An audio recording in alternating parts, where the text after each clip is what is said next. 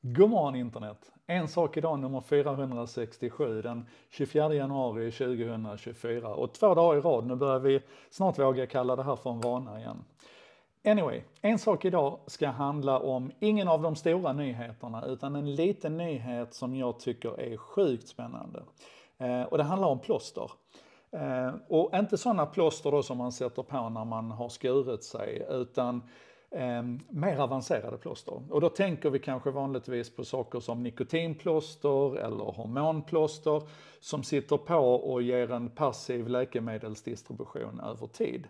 Eller så tänker vi på sådana plåster som jag har sittande här och det här är egentligen inte plåstret utan det här är ju bara för att skydda den sensorn som sitter här som är en, en sån här eh, ständig ehm, eh, blodsockermätare, en, en GKM och som jag använder för att försöka lära mig mer om hur det jag äter påverkar mig. Ni kommer säkert ihåg hur, hur nyfiken jag är.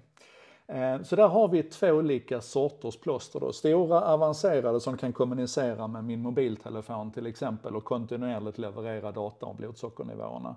Eh, eller mer passiva läkemedelsdistribuerande plåster. Men det finns en kategori till som ligger där mitt emellan, som ligger i det här härliga gränslandet av, eh, vad ska vi kalla det, vi kan väl kalla det för materialvetenskap och elektroteknik och, och läkemedelsvetenskap där någonstans.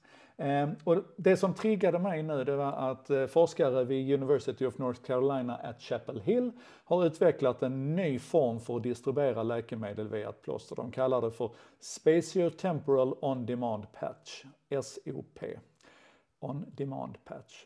Och poängen med den här det är alltså att den kommunicerar med din mobiltelefon och, och eh, on demand levererar läkemedel in i kroppen. Och det här är en helt fantastisk teknik om man tittar på vad det är de egentligen har gjort. För på kvadratmillimeter stora ytor så sitter det tusentals små mikronålar kan man säga som är inbäddade i guld och varje nål här kan vara bärare av ett unikt läkemedel och varje nål kan, kan fjärrstyras då ifrån, eh, ifrån en mobiltelefon eller ifrån en annan digital enhet. Eh, och den här läkemedelsfrisättningen då som det kallas, den kan regleras med 30 sekunders intervall så att säga och, och Ja, det, är, det är en fantastisk teknik med, med guldpläterade mikronålar. Och, ja, det, är så, det är så himla läckert. Och det har gjorts en hel del sådana här eh, varianter tidigare, men som jag förstår det i alla fall så har de här fått ett ett, ett patent nu, eller deras patentansökan är i alla fall godkänd, för att den är direkt uppkopplad. Så att det är inte, eh, mikronålar har funnits tidigare men då har det varit mer, vad ska man säga, passiva distributionssystem eller enkelt tidsstyrda distributionssystem.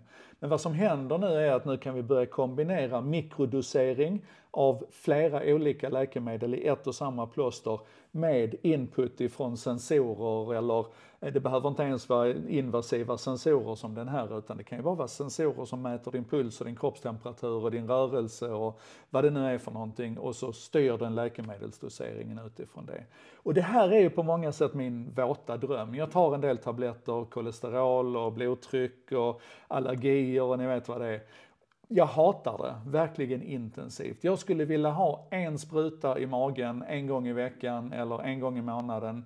Eh, under en period så gick jag på ett experimentellt läkemedel som heter Repata mot, eh, mot kolesterol. Eh, och då tog jag en dos varannan vecka i magen. Perfekt, jättebra. Så skulle jag vilja att alla mina mediciner kom i en enda förpackning. Ni vet som de här dosförpackningarna man får på apoteket. Men istället för att knapra piller på med ett plåster och så sitter det där en vecka och ger dig exakt det du behöver, varken mer eller mindre. Och det här tycker jag vi behöver fundera på, för det är någonting väldigt, väldigt gammalt över hur vi distribuerar och intar läkemedel idag och hur vi mäter effekterna av de läkemedel vi stoppar i. Och så kombinerar vi det här med, med som sagt, alla våra sensorer men också med DNA-profiler och så vidare, så kan vi ju gå in på en helt annan detaljnivå och styra vilka medicineringar vi, vi stoppar i oss. Och det är väl hög tid för det. Så jag säger, heja de här forskarna som har kommit, upp på med, kommit fram med SOP här nu och så eh, tycker jag att du ska fundera på hur du vill se din läkemedelsdistribution framöver. Vi kan naturligtvis drömma om att vi inte kommer behöva några läkemedel, men det är ju en pipe dream. Eh, en sak idag, 447, vi ses imorgon. Nej, 467.